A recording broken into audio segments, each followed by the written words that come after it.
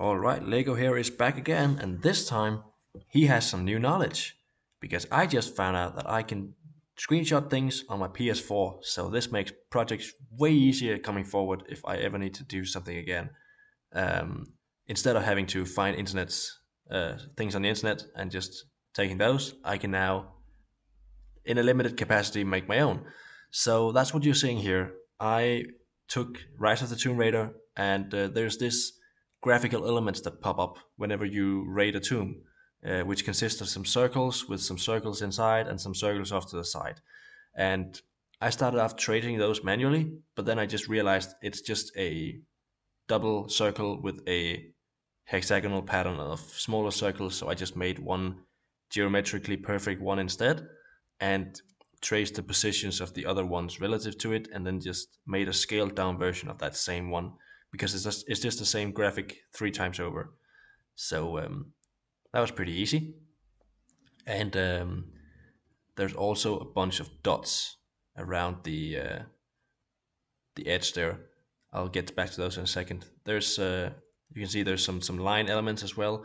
Those line elements I actually plan on putting back in later with the text as part of that, so that it integrates better with the uh, with the writing that I'm about to do. But um, having done the circles, I'm just making up a bunch of the a bunch of circles around there. I think 120 per thing. That way looks pretty good. And then it's just a matter of copying those over and using a bit of math to scale them relative to the size that they're supposed to be. So just me adding up some ratios and there we go. And that is uh, pretty much the, the, the graphical element from the game that pops up.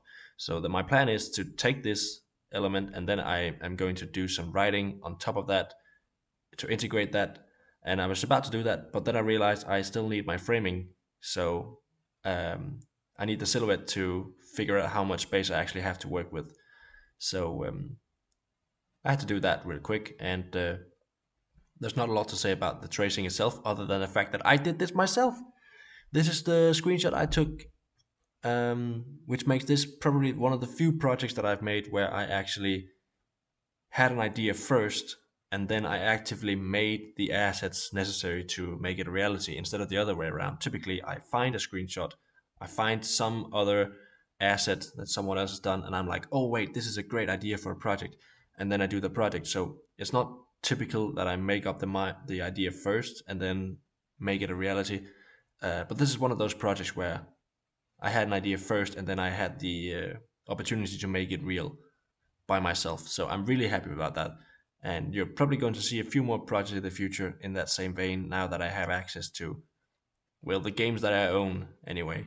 Um, so that's really cool. Now, the glow stick here is going to be sort of the center focus thing, sort of like the other Rise of the Tomb Raider project I made with the glow um, with the flare from the front cover of Rise of the Tomb Raider, I want to make this into a lighting element as well. So I'm making up the glow stick and originally in the in this uh, context the glow stick is orange, but in the prologue of the game in Syria it's actually blue glow sticks and I really like that. So um, I'm going to make this a blue glow stick.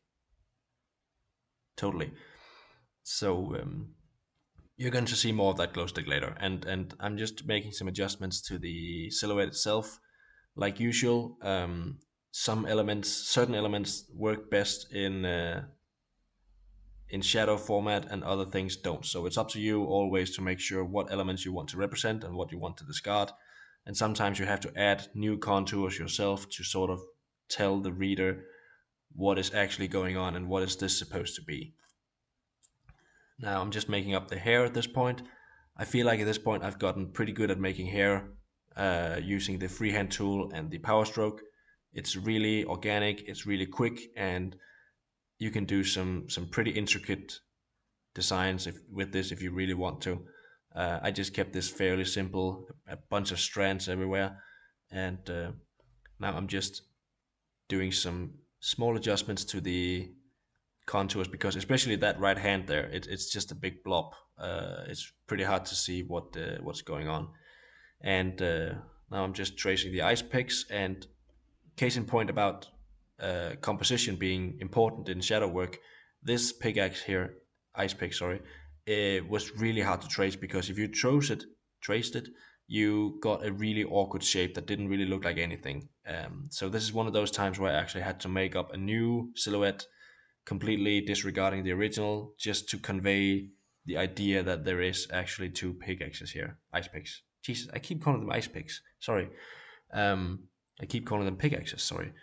Now, anyway, having uh, having made the uh, core figure there and some of the different aspects, I'm just adding some teeth here to the to the ice picks to give them that extra little piece of detail and doing some small adjustments there putting it back into frame it looks pretty good so at this point I have the complete framing the graphic element and the silhouette so it's time to actually do the writing now the writing is made in GC which is a system I really like. And I know I say this about pretty much every system I use, but I really like this as well. And it has some properties that I really, really wanted for this project, particularly.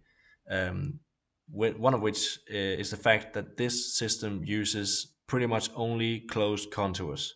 So there's no open areas, there's no uh, circles with a lot of dents and, and, and divots and stuff. It's just closed contours most of the time, and they just slide from one to the next to the next. It's really organic and size doesn't matter when it comes to most of the letters, which means I can make this huge hexagon behind Lara there, which makes the whole text readable while it takes up pretty much all of the available space, which is something I wanted. I wanted this to fill out the remaining empty areas, and I wanted a system that looks aesthetically similar to the writing, or not writing, sorry, just the, the circle the elements of the original graphical element. So this fits really nicely in with that. Lots of closed circles, circles within circles, and just a hint of some hexagon shapes there to, to break it up a bit. One other cool thing about GC is that uh, line thicknesses don't matter at all. I can make any thicknesses I want anywhere at any time, and it still do not change the. Uh, it doesn't change the writing. So um, I had the freedom to make up that as I went along, which is pretty cool. And overall, this just really, I mean, I like this language a lot. It's not API based. And yeah, there's not a lot else to say about it. I'm uh, just making up the rest of the text here. and then I'm just making a bunch of backups before I do the last piece of destructive editing and then it's time to actually add some of the lines to it because there is a few letters that require lines and this system is set up in a way that means the quantity of lines matter if I put two lines on something then it means something and if I put any other amount of lines on it it doesn't mean anything so this gives me the freedom to add a bunch of extra lines into the text without actually changing anything, which is what you're seeing me doing right now. I'm just adding a bunch of extra uh, line elements that don't actually affect the writing itself because of the quantity. So this breaks up the uh, the remaining emptiness as well as reintroducing those lines that was in the original graphical element. And at this point, I'm just doing some final adjustments and then I'm actually going to mesh the whole thing together because while this looks cool, the original graphical element, which is blue right now, it still interacts with the text. They, they're still touching, and that can change the meaning of some of the letters. And uh, I don't want any ambiguity about that. So what I'm doing is I'm going to separate things out, the different um, the different elements. We have the graphical element, we have the lines, and we have the text. I want these three graphical elements to interact with each other, interlock in a way, but without actually um, affecting each other. So while I'm doing some basic um, backups now, just dragged out to the side there, what I'm doing now is I'm doing an offset of the text to make sure that I don't uh, have any piece of text touch the graphical elements. And I'm going to do the same thing with the lines, just to give it a more intricate feeling So I'm taking the lines and I'm actually cutting them off at any place where they interact with the original graphical element so that the lines don't actually touch the elements, but they do touch the text in the places that they need to. And it really gives a cool effect of everything being cohesive and, and like made at one at once. So having done that, it's time to do the last thing, coloring. And this took longer than usual because coloring for me is pretty often pretty quickly. Um, but not this time because I wanted the glow stick to really shine here, no pun intended. Um, and I tried a bunch of different ways of making the text and the, the, the elements and the whole thing. I wanted them I wanted them to sort of be lit up by the glow stick and it's not an easy effect to do. At least I didn't find a good way of doing it until way later. Um, I tried doing some gradients with the center being the glow stick. I tried uh, adding some some lighting details by using smoke, and uh, it didn't really work out. So I tried to backtrack a bit and just make the glow stick itself first, which is pretty much just a uh, a lightsaber effect. That's what I call it whenever you have a couple of blurs on top of each other with different um, lightness effects. So deep blue, light blue, white. That's the basic lightsaber effect there. Um, so you can see there I tried to make some uh, some smoke on top to, to sort of give it a glow effect. It worked really well with the flare project, but this is not a flare. It doesn't really look uh, like it belongs. So I ended up discarding that pretty quickly. And um, at this point I just had to unionize the whole thing because three different gradients didn't really work out for me the way I hoped. So now it's just one big element. And what I'm doing now is I'm actually doing lightsaber effects on it because if it works for the glow stick, it must work for the text as well. So I did some uh, some color work to try and, and match the same uh, color palette as the um, as the glow stick itself. I really wanted that glow stick feel to the text and the whole thing.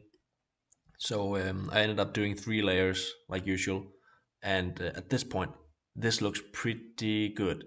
I just need to make the glow stick the center um, to really sort of, of give it the effect that this is actually what's lighting up the whole thing. Um, and before I did that, I actually did some clipping groups, which is a new project thing for me to do. It's a new technique. Um, using her shadow as a clip, I actually made an inner shadow in a way that sort of highlights one side of her figure while not highlighting the other. At least that's what my intent. Um, so using the, the clip effect, I can actually do that without obscuring or affecting the surrounding elements, which is um, really powerful actually. And I'm probably going to see you're, you're going to see a lot more of this in the future. Um, maybe even a tutorial if anyone asks. I don't know quite yet if I want to do that, but there is clipping tutorials out there, but they're not really, at least for me, they don't really get the job done in a way that I can use. Uh, so I don't know. Maybe maybe I'll do something like that in the future if uh, if there's any requests for it. But for now, I made a clipping group to the inner shadow, added some two-tone effects there. You can see me messing about with the with the clip group hierarchy on the right there to uh, to get it just right. And um, having added that on top, I'm pretty pretty happy with that. It's uh, it's a bit much that color, but uh, the the same effect applies. Just keep it down, and there we go. So almost done with that. There we go. Just doing some subtle editing to the to the highlight there. And now let's actually return to the glow stick because I really want this to glow. And uh, what I ended up doing after failing on some smoke effects again, I uh, I did what I probably should have done all along, which is use a mesh gradient because those things are really powerful when used correctly. And in this case, it was a pretty easy thing to do. I just added a bunch of uh, nodes, highlighted the area I wanted, kept the rest of it pretty dark blue. It's it's almost black, but it, it's a bit there's a blue tint to the background there. Um, but added in that uh, that gradient mesh gradient there. So now we have the glowing, well, glow stick, and we got the glowing background lit up by said glow stick. And now I'm just finalizing some of the elements there to make everything mesh together nicely. I added a bit of a border there. Um, and at this point I need to sort of, well, get her legs in order because I don't want them sticking out of the circle. Nothing fancy here, just manipulating the nodes that uh, uh, that the borders on her feet. So I just I just put that inside, nothing fancy. And uh, at the last second there, I took the um, the border circle and I made it part of the design so that everything is cohesive. And after finally checking this through, it's uh, it's pretty much done. I'm really happy with the fact that this was made by a screenshot that I made for once. Um, and I quite like the way it looks. So, bye.